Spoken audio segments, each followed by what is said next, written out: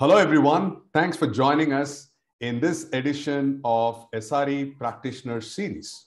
I'm your host, Suresh B- GP, and I'm glad to um, welcome you all to the episode number 10. Today, I have an esteemed guest and a good friend, Mr. Sai Prakash, who's the Director of Consulting at CGI. Sai Prakash has extensive experience of over two decades in the IT industry, spanning across multiple roles and business domains. Sai is a certified SRE practitioner and is passionate to make things better. With a motto to maximize IT for business and support clients to succeed in their transformation journey, he has been executing several high value projects across business domains. Thank you so much, Sai, for joining us in this edition of uh, SRE Practitioner Series. I hope you're doing good and staying safe. Uh, thank you for this opportunity, Suresh, and uh, thanks for that introduction as well. Yes, doing safe, uh, and hope you are doing good as well. Yeah, thank you very much. So let's get this kick started, um, Sai. The first one is how relevant is SRE in today's IT's world? You know, and you have been in this space for over two decades. So is this a more of a buzzword, or is it a hype or a reality? How do you think that SRE is playing a role in this IT today? Well, I think uh, at, uh, we do have to acknowledge that at some times SRE is treated more as a buzzword uh, but I think that's where the the actual scenario changes. So today we are in a uh, situation where the uh, IT landscape is changing really fast. The business landscape is changing very fast. Um, the businesses are looking to evolve themselves almost every other day. You know, trying to offer new things, how how they can give more value to the clients, to the use, to the end clients, to the users, to their community and uh, amongst all of these things, uh, uh, I think SRE does play a major role. But the caveat that we will need to understand is um, in, in today's fast changing uh, pace, the IT world, see, agile and DevOps are getting adopted and adapted at a at a much uh, mature way.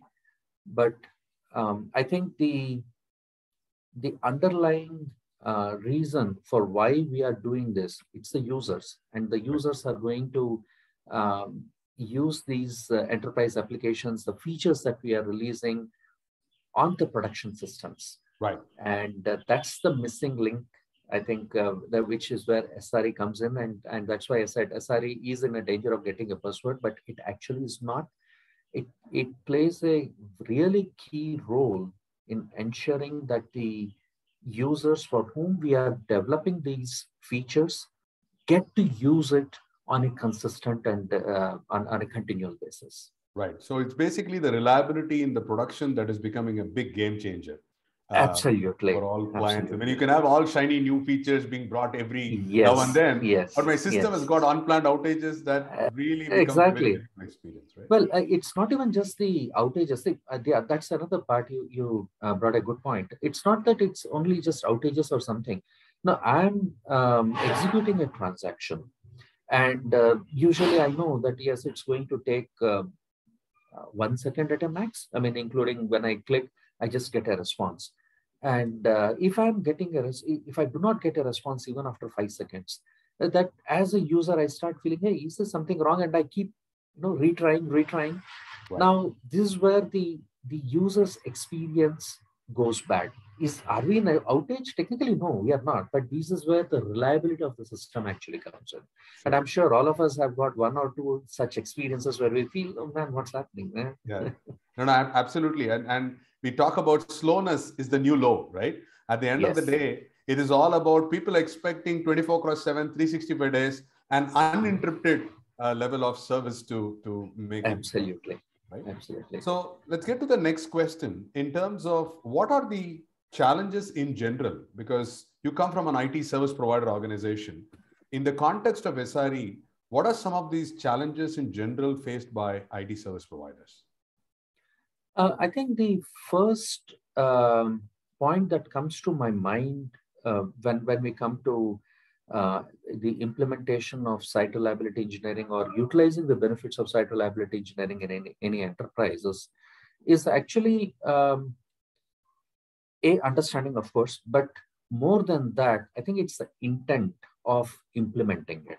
Right. So, be it the enterprise or a service provider or the entire uh, IT ecosystem, I think the that particular intent of okay, let us focus on the reliability, let us focus on ensuring that the users are going to get 100% of what we intend to get to. That is one key thing which I feel sometimes people are uh, missing out and this is where again i think it, you know to the earlier question we talked about people people sometimes i see a danger that they treat this more as a buzzword and uh, sometimes they uh, people think that there's an additional thing. Oh i'm already doing so many things. Now this new sre has come. I need to work on top of it. My efforts are going to go high. Um, or, or sometimes we may have an it ecosystem which is not um, uh, mature enough in terms of the tooling. So the, there are multiple challenges in terms of the intent uh, from the enterprises, the IT ecosystem in general, uh, the understanding uh, of the of the people when it comes to the actual implementation, uh, the processes and the tools, the underlying process and the tools, uh, which are not uh, mature or supportive enough to to properly get implemented, and I think the most important thing, a proper coaching. This is this is definitely required uh, when we get to implementing SRE. So I, I think I think these are uh, some three or four uh, important challenges uh, when it comes to implementing, and and these are the things which I see more as gaps uh, where IT enterprises themselves, as well as the service providers who are extending the services to the enterprises, are not deriving the the power of site reliability engineering and ensuring that the clients are getting the best value for their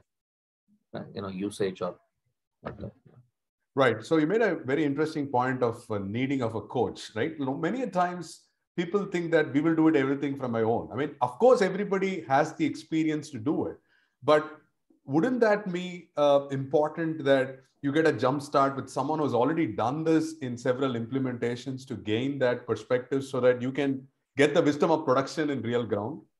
Absolutely, absolutely, and, and I think it is not just so when we are talking about a coach, uh, it's not just in the sense or the context of SRE just itself, sure. but yes, it's it's like there is so much of wealth of knowledge spread across. Uh, why should we make use of it? Why should we have to reinvent the wheel and uh, undergo all of those things all by ourselves? Um, slow down our journey uh, and and sometimes risk the derailment of uh, all of those things. So this is where a coach actually comes into a, a, into picture to guide the um, enterprise or, or this particular SRE implementation on a right track. That's that's absolutely important. Sure. And so uh, uh, agile coach. I mean, why agile is there, and and many organizations are doing good. Still, we have agile coach. Why? It's because people, the, the IT industry understands the significance of a coach right. in uh, giving it a right direction and the right inputs. Absolutely. That's, I think, spot on. Let's go to the specific challenges. You have been in your SRE journey for quite some time now. What are some of the specific challenges you have faced and how did you go about implementing SRE? Because again, the way you look at IT uh, implementation of SRE in an IT service provider or a managed service provider context is very different from a retail company or a financial services institution. So, how did you go about doing that? What was the driver to do this one? So, give a little bit of background on that. Sure. And uh, this, this is a very interesting journey, uh, which I personally experienced. Um, so it started with the, that buzzword SRE. So it, it started kicking in. Okay, what exactly is it? Okay, let me learn about it, understand what's it, uh, what it is about. And uh, sure enough, I was uh, very much interested in it because um, this is about support, extending services to the clients, and uh, that, that's the business I'm into, and my my team uh, does that. So it made a natural sense for me to look into uh, site reliability engineering and how we can leverage the power of it. I mean, that, that became a starting point for me, uh, let's say uh, two, and, two, two and a half uh, years ago. Um, but to the specific challenges that we um, encountered during this journey was, uh, first of all, defining the problem statement itself. So why, why SRE? If right. I have to ask a, uh, you know, take this proposal to my bosses or to my clients, why do we need SRE? So that to defining that problem statement becomes an absolute input. And that takes a lot of uh, brainstorming, understanding of our business and, and a lot of that stuff. And obviously, it's an iterative process that we will need to. So uh, problem definition becomes the a, a, very important aspect. That was a key um, learning for me and, and also a challenge for me uh, in terms of defining. This, the second thing was um, uh, even experimentation. See, the, when we started off, we did not have any template or uh, any, um, uh, let's say, a, a, experience within our organization where things can be uh, set, rolled out just like that. Uh, so that uh, it, it required uh, defining what we want to solve, how is it that we are going to do, what will be the investments that we'll have to make, both in terms of the people, money, time, uh, all of these aspects started coming in. How is it that we are going to take to the clients themselves? So uh, uh, defining the problem statement, coming up with the implementation roadmap, uh, determining the success measures. See, this is another important item, which of, of course is linked with the first one, where what is the problem statement? Right. What are the success criteria? What are the measures? So these these became, uh, I would say, very uh, important aspects or challenges which I had to uh, uh, work through along with my colleagues when we were defining it. And more importantly, I think when when we do some sort of an experimentation, which in some, in some ways it was, sustainability uh, becomes another uh, important aspect. If we are not able to demonstrate the results that we start with, sustainability becomes another challenge. And of course, for the past, I, I would say, one and a half uh, plus years, uh, you know, situation got compounded with attrition. So anything that you do, just you take one, you put one step forward and two steps back. Right. Uh, but I would say I was uh, absolutely, absolutely fortunate uh, uh with, uh, because my management was absolutely supportive. Um, they they definitely saw a value in this and said, yes, we need to put the right investments. Um, how is it uh, that we are going to start this journey? And also, and and I would say thanks to you. for you know giving that introduction of SRE, what it is, and uh, we work together and that's where we, we define the, what will be our measures of success. But more importantly where we are. So um, the um, TaUB Solutions i would say definitely helped us in coming up with that uh, measurements of as is situation. So okay today we are here. We want to move here tomorrow or in the next whatever time frame. What will be the steps that we will need to take? So that roadmap uh, and the measures, these became uh, absolutely, uh, I would say, critical factors in, in um, uh, getting our journey going and achieving success, started uh, getting results. Excellent. And also, I wanted to kind of highlight the leadership team and the management investing a lot of enablement. So, how do you think, you know, instead of a traditional two days, you did a three day program, uh, bringing in all those people. So, how do you really see the value of the enablement part Uh, because you you approached a very different approach rather than the standard of the shelf one. Because you had a lot of thought process to it but I'm, I'm i'm quite keen because a lot of people who are embarking on the sre journey they don't know where to start with. So can you just talk a little bit about the enablement particularly when you talk about people who are going to drive this transformation forming that core? How did we how did we make this a reality right? From the concept to to the actual reality how did you go about it?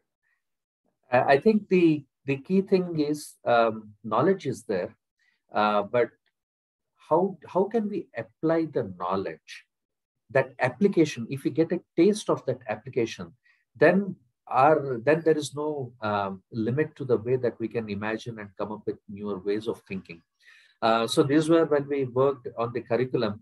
Yes, there was a, there is a two-day curriculum. Yes, we know we are going to cover XYZ, the introduction of SRE and whatnot, all the concepts, how we can implement it and all.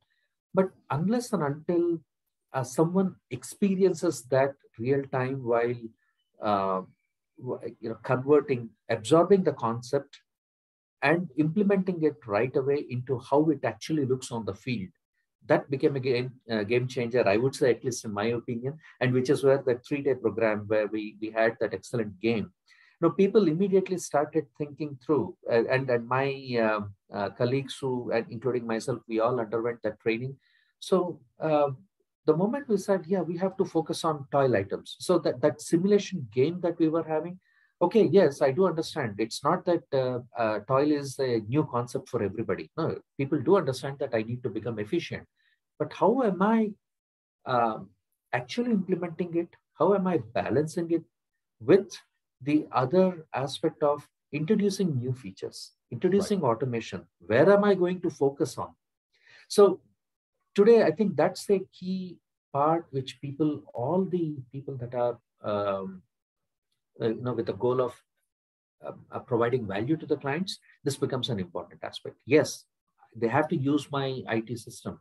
So how? This, this, uh, this that's a perfect one because you're talking about the DTX simulation that was actually combined. But you also you're very clear. One of the things I like about how you approached was you were focused on outcomes, right? It's not a tick in the box that you went about saying that we want to train these people on SRE foundation or SRE practitioner because you had a goal in mind, you know, like what Stephen Covey says, start with an end in mind. So when you started with uh, what outcome, you're very specific to look at how do we make that, uh, and this is a virtual setup, having people from different yep. uh, locations, how do you make that really valuable for them to apply what they learned in the in the part? So for people, DTX simulation is a game where we apply some of the principles over four quarters and they experience agile devops sre on, on runtime. So it's a great way to combine your uh, theory with actual practice. So that made it really worthwhile. Now one of the questions that i want to ask uh, sai is many people think that if you want to start sre you should have a mature devops environment. So is that a prerequisite? What has been your experience? Because you do a lot of things around agile devops. What do you think um, is it a is it a prerequisite uh, what would be some of your insights on that? I would say um, so we all know um, sre is actually implemented from devops. I mean it implements devops. So yes having a mature uh, a devops environment is going to give us that excellent benefits and that excellent results. Uh, but I wouldn't say that uh, a mature DevOps environment is mandatory to uh, to get going or start the SRE journey. Reason being, see what SRE talks about are also, I mean, many of those principles, uh, you uh, be it the toil, be it defining, uh, aligning with the business. I, I, think the service level, the concept of service level objectives and the service level indicators, they are really, really powerful. And uh, those are the ones which connect a support person or an IT support. Yeah, I will I will use the word IT support to that to the business. And this is a this is a very key key aspect i would say. Otherwise people do miss out on on those uh, important link and they do not know whom why what is the purpose? That purpose gets established. So i think many of these principles uh, even though we do not have a mature DevOps environment, uh, let's say it's evolving, or sometimes it may not even be there, it's, uh, that's going to help uh, a lot, uh, uh, I would say, in, in the, the SRE journey. Right. So one of the other things that I see in terms of implementation, not every company has got everything on cloud. So do you still think that SRE will be still applicable in legacy environment and and monolithic applications, or is it something that we can only start SRE when we all move towards cloud? I mean, there's some some perception exists. Right, I do understand, and that, that's one of the uh, I would say uh, misconceptions. So right. the concepts of SRE are something uh, at, at, the at the core of it, at least the way I look at uh, SRE is not something that uh, preaches any tools. SRE is not something that preaches about any one particular process or, or methodology to be implemented. What SRE preaches is we have to deliver value to our clients, to the end users, and SRE preaches that the production systems have to be reliable for the end users.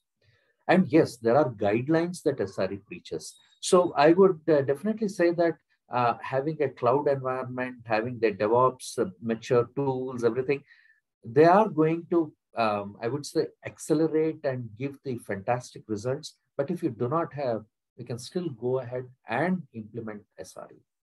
Absolutely. It's, it is going to be, uh, uh, I would say, a scale down or a um, uh, let me, what's the right word? A customized implementation that sure. we will have to do.